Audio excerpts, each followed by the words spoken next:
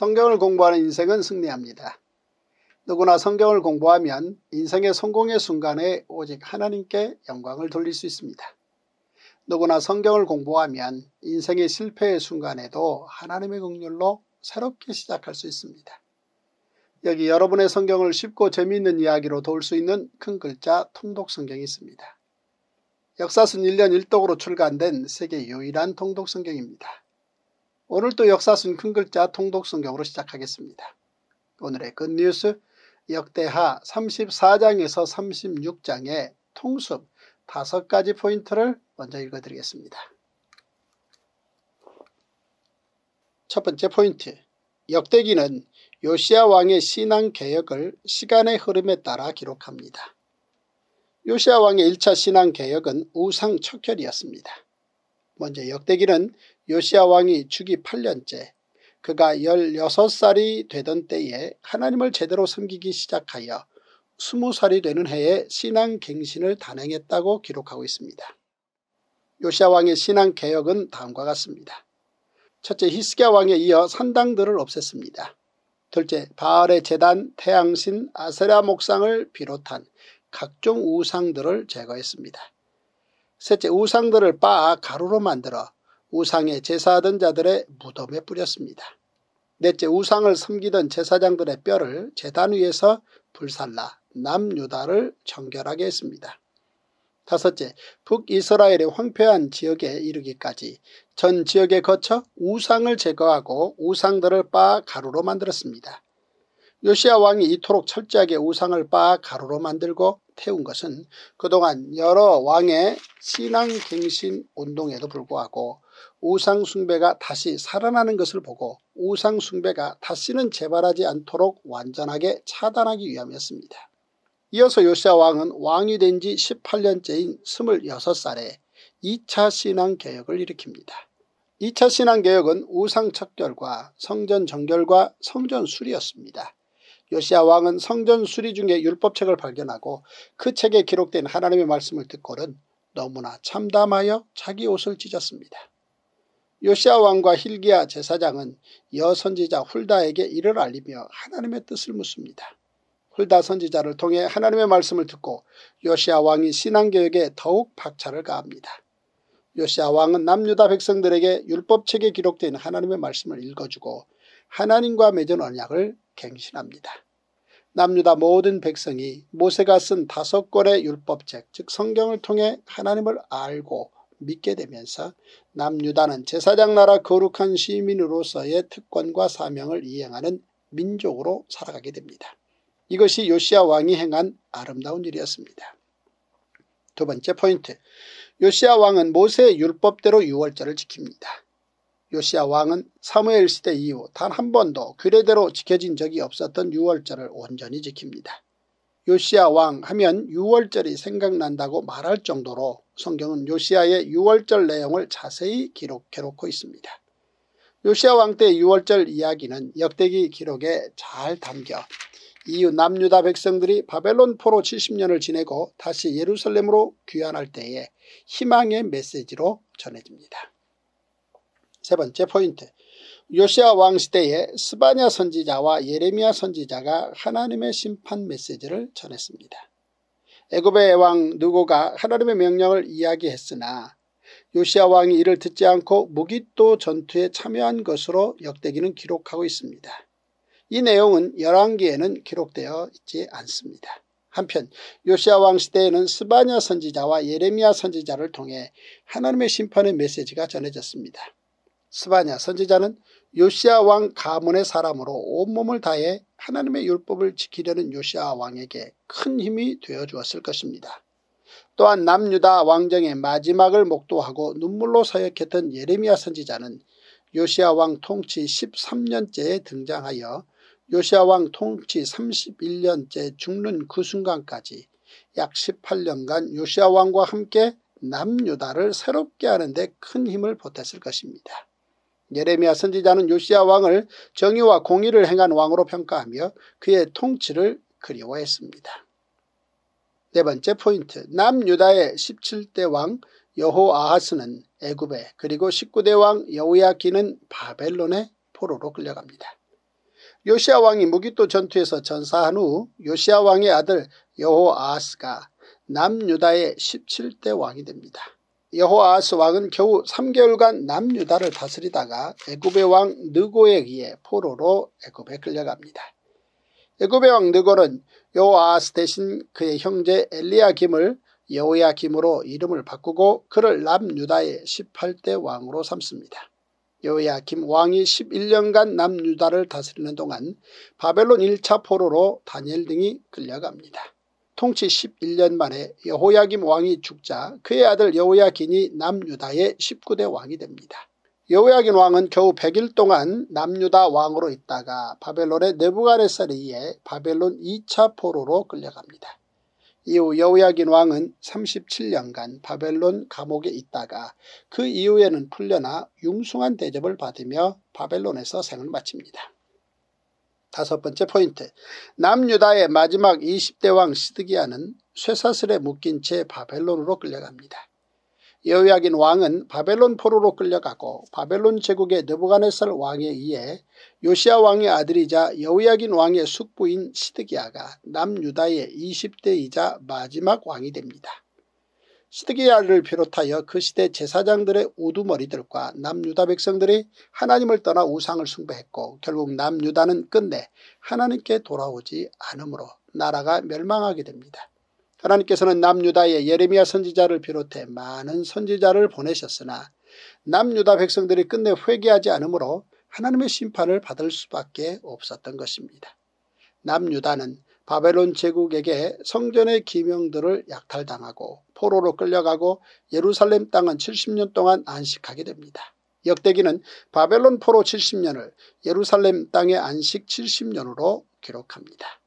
예레미야 선지자를 통한 하나님의 말씀대로 남유다 백성들은 페르시아 제국 고레스 왕의 귀한 명령을 받고 바벨론으로 끌려간 지 70년 만에 예루살렘으로 귀환하게 됩니다. 열왕기는 포로로 끌려간 여호야긴 왕의 석방으로 끝을 맺고 있으나 역대기 기자는 바벨론 포로에서 돌아온 귀한 공동체에게 소망과 앞으로 해야 할 일을 강조하기 위해 고레스의 조서로 끝을 맺고 있습니다. 모든 성경은 유익합니다. 세상 예화나 성경 요절주의, 권별주의는 끝내 성경을 어렵게 합니다. 모든 성경을 모든 가정에서 다섯 살부터 통성경 스토리로 듣게 되면 성경은 곧 쉽고 재미있는 책이 될 것입니다. 모든 성경 이야기에는 첫째 하나님의 법, 둘째 하나님의 극률, 셋째 하나님의 기적이 들어있습니다. 그러므로 성경 한 권이면 충분합니다. Wow! 제242일 역대하 34장 요시아가 왕위에 오를 때 나이가 8세라 예루살렘에서 31년 동안 다스리며 여호와 보시기에 정직하게 행하여 그의 조상 다윗의 길로 걸으며 좌우로 치우치지 아니하고 아직도 어렸을 때 곧 왕위에 있은 지 8년에 그의 조상 다윗의 하나님을 비로소 찾고 제12년에 유다와 예루살렘을 비로소 정결하게 하여 그 산당들과 아사라 목상들과 아루 새긴 우상들과 부어 만든 우상들을 제거하여 버리매 무리가 왕 앞에서 바알의 재단들을 헐었으며 왕이 또 그 재단 위에 높이 달린 태양상들을 찍고 또 아세라 목상들과 아루새긴 우상들과 부어 만든 우상들을 빻아 가루를 만들어 제사하던 자들의 무덤에 뿌리고 제사장들의 뼈를 재단 위에서 불살라 유다와 예루살렘을 정결하게 하였으며 또 문하세와 에브라임과 시몬과 납달리까지 사면 황폐한 성읍들에도 그렇게 행하여 재단들을 허물며 아세라 목상들과 아루새긴 우상들을 빻아 가루를 만들며 온 이스라엘 땅에 있는 모든 태양상을 찍고 예루살렘으로 돌아왔더라. 요시아가 왕위에 있은 지 18째 해에 그 땅과 성전을 정결하게 하기를 마치고 그의 하나님 여호와의 전을 수리하려 하여 아살랴의 아들 사반과 시장 마아세야와 서기관 요아아스의 아들 요아를 보낸지라 그들이 대제사장 힐기야에게 나아가 전에 하나님의 전에 헌금한 돈을 그에게 주니 이 돈은 문을 지키는 레위 사람들이 문하세와 에브라임과 남아있는 모든 이스라엘 사람과 온 유다와 베냐민과 예루살렘 주민들에게서 거둔 것이라. 그 돈을 여호와의 전 공사를 감독하는 자들의 손에 넘기니 그들이 여호와의 전에 있는 일꾼들에게 주어 그 전을 수리하게 하되 곧 목수들과 건축하는 자들에게 주어 다듬은 돌과 연접하는 나무를 사며 유다 왕들이 헐어버린 성전들을 위하여 들보를 만들게 하며 그 사람들이 성실하게 그 일을 하니라. 그의 감독들은 레위 사람들 곧 무라리 자손 중 야핫과 오바자여 그앗 자손들 중 스가랴와 무술람이라. 다 그 일을 감독하고 또 악기에 익숙한 레위 사람들이 함께 하였으며 그들은 또 목독군을 감독하며 모든 공사 담당자를 감독하고 어떤 레위 사람은 서기와 관리와 문지기가 되었더라. 우리가 여호와의 전에 헌금한 돈을 꺼낼 때에 제사장 힐기야가 모세가 전한 여호와의 율법책을 발견하고 힐기야가 서기관 사반에게 말하여 이르되 내가 여호와의 전에서 율법책을 발견하여노라 하고 힐기야가 그 책을 사반에게 주매 사반이 책을 가지고 왕에게 나아가서 복명하여 이르되 왕께서 종들에게 명령하신 것을 종들이 다 준행하였나이다. 또 여호와의 전에서 발견한 돈을 쏟아서 감독자들과 일꾼들에게 주었나이다 하고 서기관 사반이 또 왕에게 아뢰어 이르되 제사장 힐기야가 내게 책을 주더이다 하고 사반이 왕 앞에서 그것을 읽음에 왕이 율법의 말씀을 듣자 곧 자기 옷을 찢더라.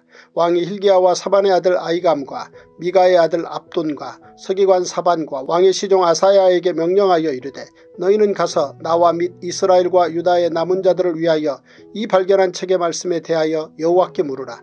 우리 조상들이 여호와의 말씀을 지키지 아니하고 이 책에 기록된 모든 것을 준행하지 아니하였으므로 여호와께서 우리에게 쏟으신 진노가 크도다 하니라. 이에 힐기야와 왕이 보낸 사람들이 여선지자 훌다에게로 나아가니 그는 하스라의 손자 도카의 아들로서 예복을 관리하는 살룸의 아내라 예루살렘 둘째 구역에 살았더라. 그들이 그에게 이 뜻을 전함에 훌다가 그들에게 이르되 이스라엘의 하나님 여호와께서 이같이 말씀하시기를 너희는 너희를 내게 보낸 사람에게 말하라 하시니라. 여호와께서 이같이 말씀하시기를 내가 이곳과 그 주민에게 재앙을 내리되 곧 유다 왕 앞에서 읽은 책에 기록된 모든 저주대로 하리니 이는 이 백성들이 나를 버리고 다른 신들에게 분양하며 그의 손의 모든 행위로 나의 노여움을 샀습니다. 그러므로 나의 노여움을 이곳에 쏟음에 꺼지지 아니하리라 하라 하셨느니라. 너희를 보내어 여호와께 묻게 한 유다 왕에게는 너희가 이렇게 전하라. 이스라엘의 하나님 여호와께서 이같이 말씀하시기를 내가 들은 말을 의논하건대 내가 이곳과 그 주민을 가리켜 말한 것을 내가 듣고 마음이 연약하여 하나님 앞곧 내 앞에서 겸손하여 옷을 찢고 통곡하였으므로 나도 내 말을 들었노라. 여호와가 말하였느니라. 그러므로 내가 내게 너희 조상들에게 돌아가서 평안히 모실로 들어가게 하리니 내가 이곳과 그 주민에게 내리는 모든 재앙을 내가 눈으로 보지 못하리라 하셨느니라. 이에 사신들이 왕에게 분명하니라. 왕이 사람을 보내어 유다와 예루살렘의 모든 장로를 불러 모으고 여호와의 전에 올라가며 유다 모든 사람과 예루살렘 주민들과 제사장들과 레위 사람들과 모든 백성이 노소를 막노라고 다 함께 한지라. 왕이 여호와의 전 안에서 발견한 언약책의 모든 말씀을 읽어 무리의 귀에 들려주고 왕이 자기 처소에 서서 여호와 앞에서 언약을 세우되 마음을 다하고 목숨을 다하여 여호와를 순종하고 그의 계명과 법도와 율례를 지켜 이 책에 기록된 언약의 말씀을 이루리라 하고 예루살렘과 베냐민에 있는 자들이 다 여기에 참여하게 하며 예루살렘 주민이 하나님 곧 그의 조상들의 하나님의 언약을 따르니라. 이와 같이 요시아가 이스라엘 자손에게 속한 모든 땅에서 가증한 것들을 다 제거하여 버리고 이스라엘의 모든 사람으로 그들의 하나님 여호와를 섬기게 하였으므로 요시아가 사는 날의 백성이 그들의 조상들의 하나님 여호와께 복종하고 떠나지 아니하였더라. 역대하 35장 요시아가 예루살렘에서 여호와께 유월절을 지켜 첫째 달 열넷째 날에 유월절 어린 양을 잡으니라.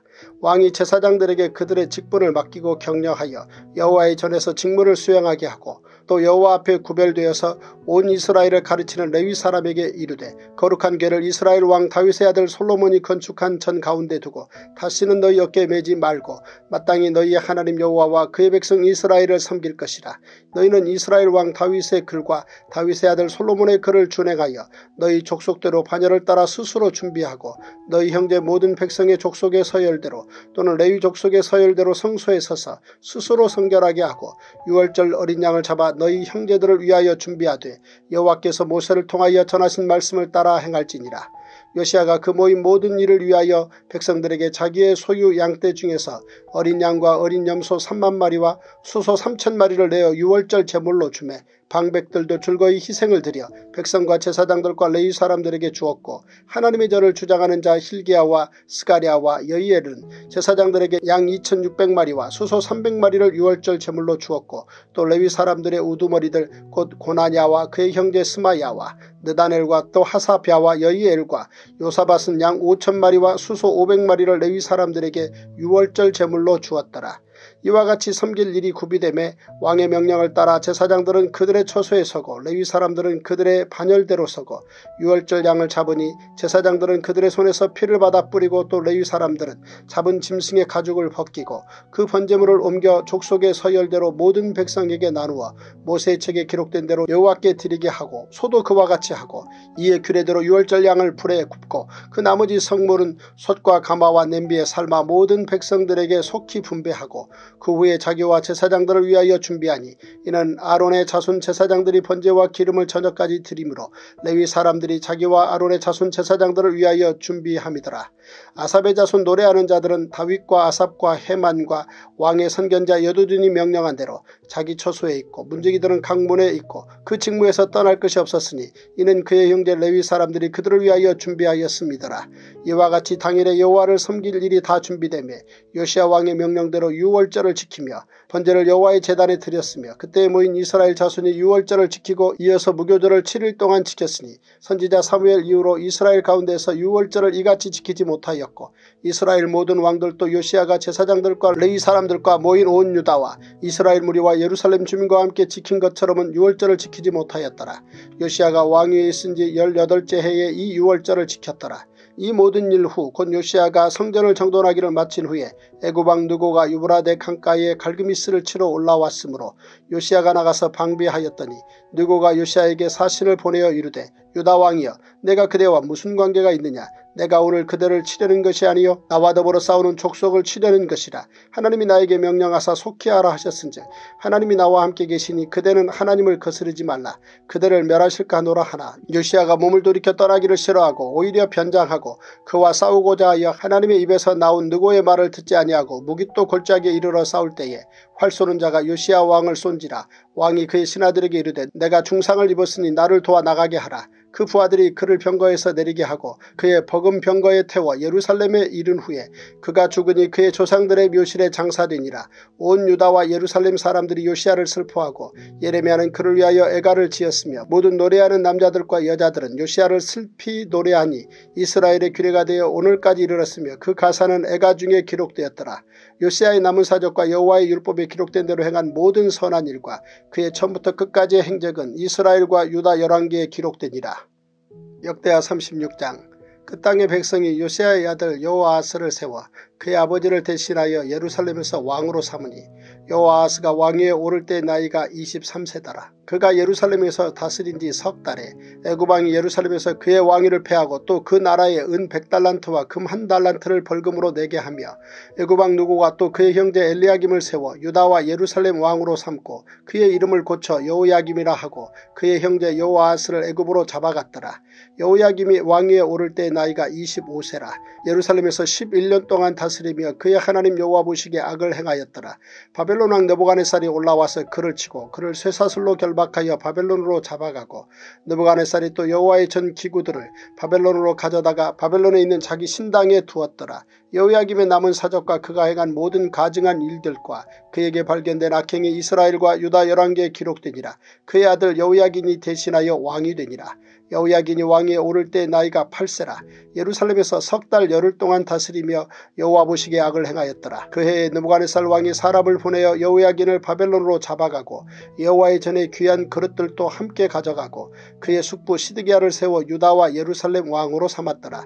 시드기야가 왕위에 오를 때 나이가 21세라 예루살렘에서 11년 동안 다스리며 그의 하나님 여호와 보시기에 악을 행하고 선지자 예레미야가 여호와의 말씀으로 일러도 그 앞에서 겸손하지 아니하였으며 또한 느부갓네살 왕이 그를 그의 하나님을 가리켜 맹세하게 하였으나 그가 왕을 배반하고 목을 곧게 하며 마음을 완악하게 하여 이스라엘 하나님 여호와께로 돌아오지 아니하였고 모든 제사장들의 우두머리들과 백성도 크게 범죄하여 이방 모든 가증한 일을 따라서 여호와께서 예루살렘에 거룩하게 두신 그의 전을 더럽게 하였으며 그 조상들의 하나님 여호와께서 그의 백성과 그 거하시는 곳을 아껴사 부지런히 그의 사신들을 그 백성에게 보내어 이르셨으나 그의 백성이 하나님의 사신들을 비웃고 그의 말씀을 멸시하며 그의 선지자를 욕하여 여호와의 진노를 그의 백성에게 미치게 하여 회복할 수 없게 하였으므로 하나님의 갈대아 왕의 손에 그들을 다 넘기심에 그가 와서 그들의 성전에서 칼로 청년들을 죽이며 청년 남녀와 노인과 병약한 사람을 극률히 여기지 아니하였으며 또 하나님의 전에 대속 그릇들과